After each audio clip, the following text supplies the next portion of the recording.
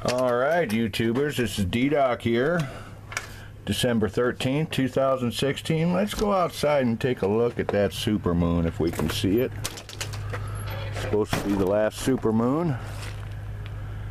Oh, and there it is. Let's get a little close up here.